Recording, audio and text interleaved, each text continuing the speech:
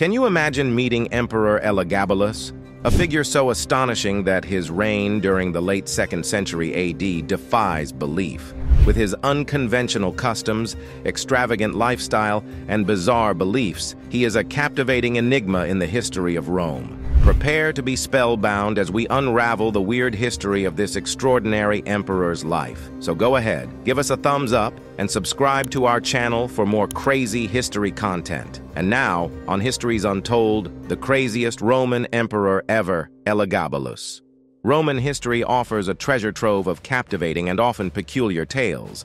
And within this rich tapestry, Emperor Elagabalus, also known as Heliogabalus, stands as one of its most eccentric figures. He reigned during the late 2nd century AD, and his life was a whirlwind of unconventional customs, hygiene practices, medical beliefs, rituals, and an extravagant lifestyle. Elagabalus's unwavering devotion to the sun god, Elagabalus, was not a passing fancy. It was a central facet of his reign. The emperor firmly believed the sun god to be the most potent and highest-ranking deity of them all.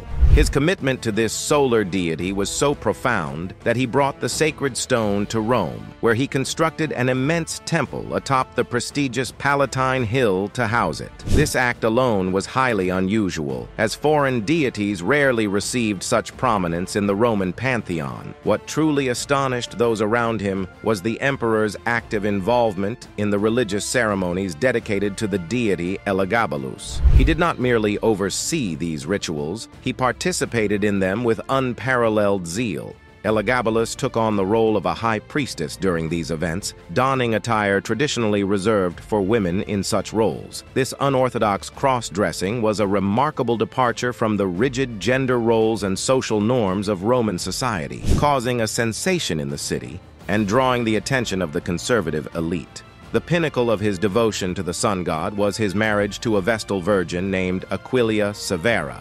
Vestal virgins held an esteemed position in Roman society as guardians of the sacred flame of Vesta, and their chastity was sacrosanct. Marrying a Vestal virgin was considered a grave offense, punishable by death for both parties involved. By taking Severa as his wife, he not only scandalized Roman society but also openly defied deeply ingrained religious norms and traditions. The emperor was notorious for his insatiable appetite for luxury and extravagance, particularly when it came to dining. His feasts were legendary for their excess and peculiarity, showcasing a culinary indulgence that defied the norms of his time. One of the most astonishing aspects of his dining extravagance was his choice of exotic and often bizarre dishes. He would regularly feast on delicacies that would make even the most adventurous eaters today raise an eyebrow. For instance, ostrich brains and flamingo tongues were considered rare and exotic dishes during his reign, and he relished them with gusto.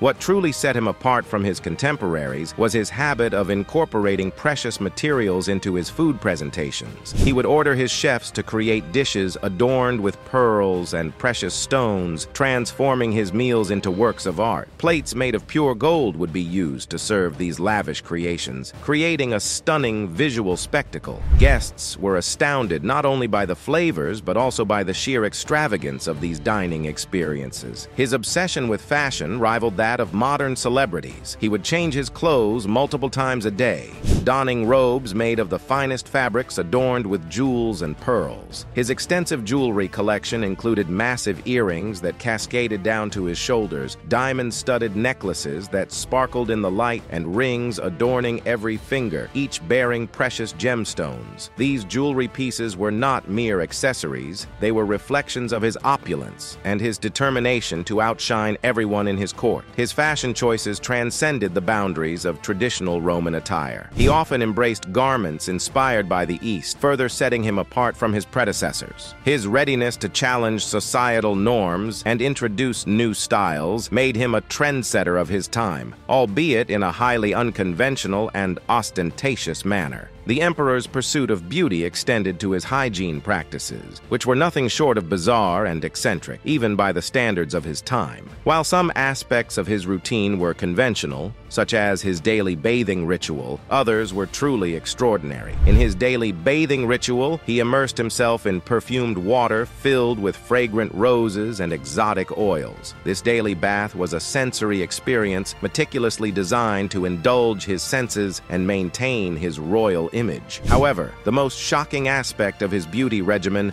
was his belief in the rejuvenating properties of donkey urine. He was thoroughly convinced that bathing in or applying this unorthodox substance to his skin would result in a radiant and youthful complexion.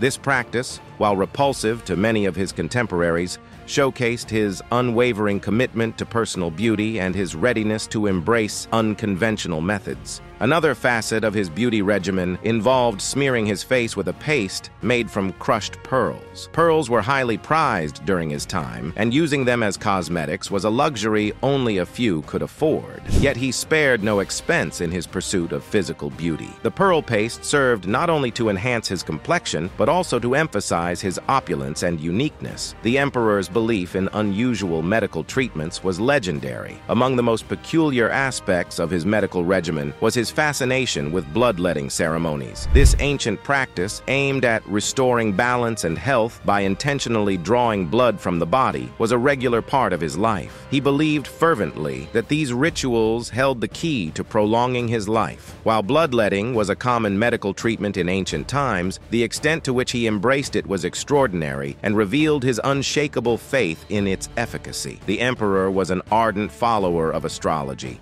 and frequently sought advice from astrologers for medical guidance. These astrologers prescribed unconventional treatments that often relied on superstitions rather than scientific principles. For instance, he was advised to consume rare birds, believed to possess unique healing properties. This practice stemmed from the belief that by ingesting the essence of these exotic creatures, he could absorb their vitality and resilience. Another strange aspect of his medical beliefs was his reliance on wearing specific colors to ward off illness. Astrologers recommended particular colors based on his astrological chart, and he incorporated these hues into his clothing and surroundings. This superstition reflected a broader belief in the influence of celestial bodies on human health, a notion that was not uncommon in ancient times. The emperor's lifestyle epitomized extravagance. He hosted lavish parties and orgies, often during broad daylight, and extended invitations to prominent senators and officials to partake in the festivities. These daytime orgies held in the heart of Rome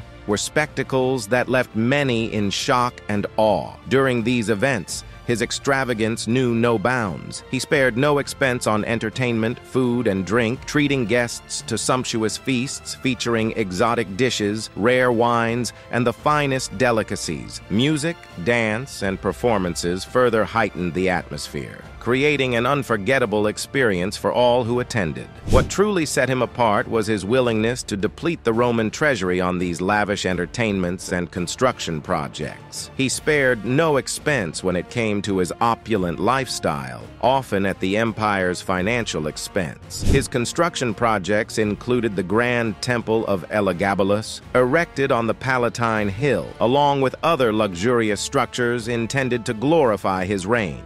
Emperor Elagabalus was undoubtedly one of the most eccentric and unconventional figures in Roman history. His bizarre customs, unorthodox hygiene practices, peculiar medical beliefs, extravagant rituals, and even his choice of pets continue to astonish and amuse modern readers. Though his reign was marked by extravagance and controversy, it provides a fascinating glimpse into the vibrant and occasionally bizarre world of ancient Rome. Thanks for tuning in on Histories Untold. If you enjoyed today's episode and want to journey further into the fascinating corners of history, make sure you hit that like button and subscribe to our channel. Don't forget to click the notification bell so you'll be the first to know when we unearth another incredible story. Until next time, keep questioning and keep exploring because history is filled with stories that are just waiting to be told. See you in the next episode.